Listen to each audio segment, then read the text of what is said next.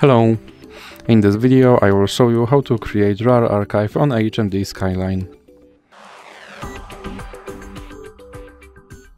So you have to start by opening your uh, RAR application, then click dismiss and now you have to go to the uh, folder with your files and then select some files and click button with plus icon and here you can uh, change some settings or you can just use defaults and click OK.